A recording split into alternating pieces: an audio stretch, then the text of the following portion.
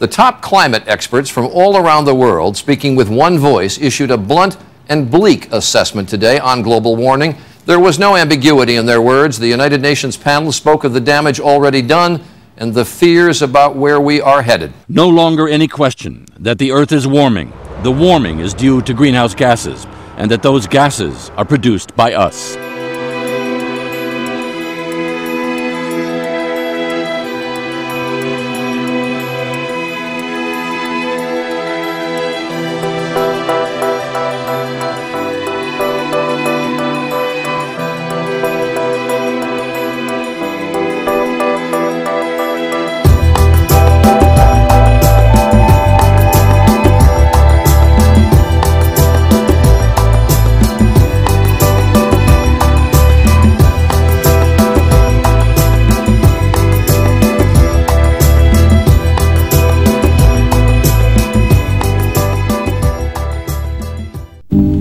1993, a group of innovative New Yorkers got together to envision a healthier and more livable city.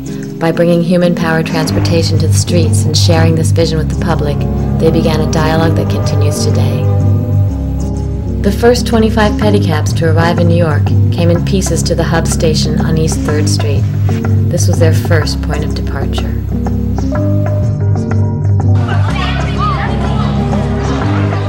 The hub was where people and ideas came together, a center of progressive thinking and community outreach.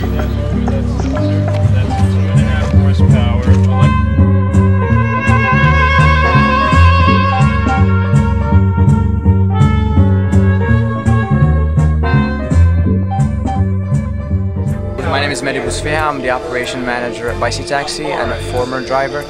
I still drive for fun from time to time whenever I have a chance. I'm Shoshana Perlman. I've been driving for three years, and I was for six months the president of the New York Pedicab Drivers Association. My name is Julio Aviles, and um, I'm a Bici taxi driver, and um, I love it. My name is Boris. I'm from Turkey.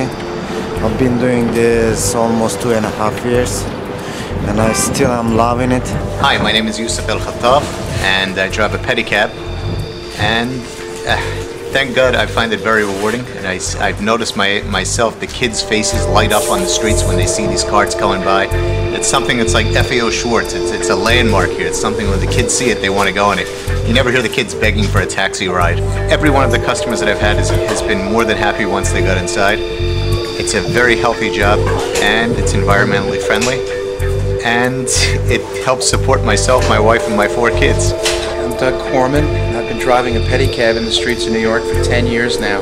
I've really enjoyed this uh, very special kind of service that we give that enables people to connect with the cityscape in a way that they can't do in a taxi cab or a limo. My name is Spencer and I've been working with pedicabs since January 2003. I started with George Bliss um, at the hub station. It was an internship I had through the school I went to, City-As-School. Now I have four cabs. I still drive. For 11 years, pedicabs have been circulating the streets of New York, enriching its touristic reputation with romance, fulfilling the local demand for effective transport, and employing a body of workers with a job they love. I like pedicabs because it's convenient for tourists and non-tourists alike. I get to meet interesting people. It keeps me in shape. It's a non-polluting uh, form of transportation. It's, it's the most eco-friendly mean of transportation you can find right now and uh, I think it's, it's the perfect solution for our envir environmental issues. People like us. The first thing about this job is people, I mean the tourists coming to New York City like the pedicab drivers. I love it. I wouldn't want to give it up for anything. Even if I had a PhD, I still love it. It, it. I find it almost addictive, as do the passengers. Electric assist pedicabs exist in cities around the world, providing drivers with pedal-activated support of under 1 horsepower, which was deemed legal until a recent campaign by the city to ban all electric assist bicycles. I have a disability, so I can't drive a regular pedicab like I used to years ago. I have a problem with my back, as with some other drivers who are aging or uh, have a disability. Electric assist is controversial. Certain drivers that are disabled wouldn't be able to operate with no electric assist. In reaction to the modernization and growth of a business once ignored as trivial, the taxi industry brought their concerns to the city, complaining of an unregulated new rival, which, despite obvious differences, is expected to function under the same status quo. With the taxi lobby, they're trying to say that we shouldn't accept street hails, which could devastate the industry. The other is a cap which could put pedicabs under the same medallion trade that yellow taxis face. It could make it impossible for all pedicab owners to continue to own pedicabs because other private interests that are not involved with the current pedicab industry could just buy up all the medallions and then use them as they see fit, or a taxi medallion owner could just buy up all the pedicab medallions and keep them and you know destroy the industry.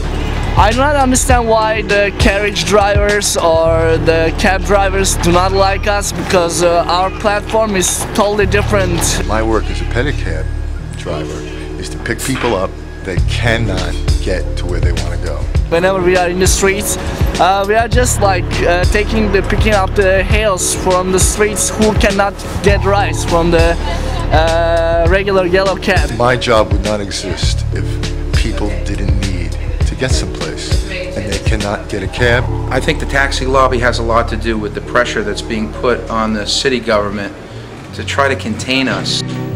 In a city expecting exponential growth over the next 20 years and suffering from a history of traffic congestion, it seems strange that the only approach towards a possible solution would be to constrict it at its beginning. This is New York City, after all, once recognized worldwide as the capital of progress.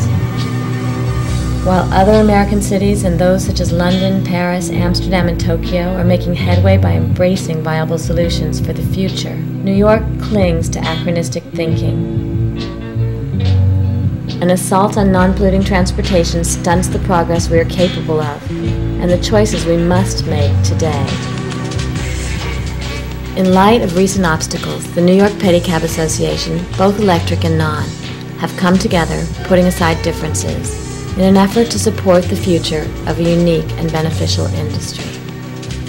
The pedicab industry has tremendous potential to make a really constructive contribution to New York City.